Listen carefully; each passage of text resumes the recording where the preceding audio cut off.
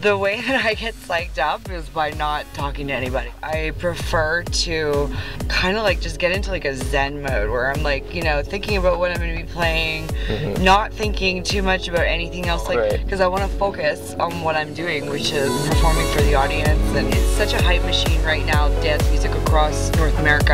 I don't care who you are, what you look like, how much money you make. If you're there to have a good time, then you're welcome to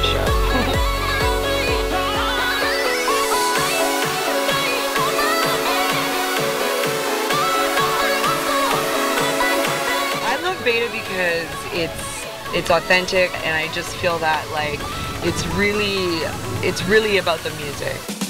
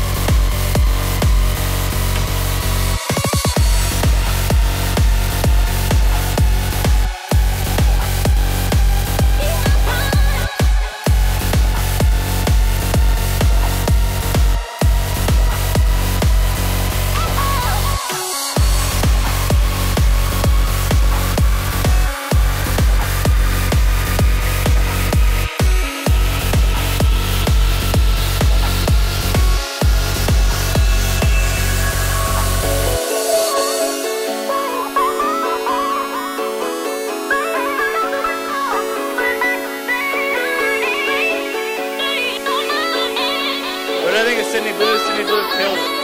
Because she has the most epic tracks alive, sings. Yeah, I love the. I love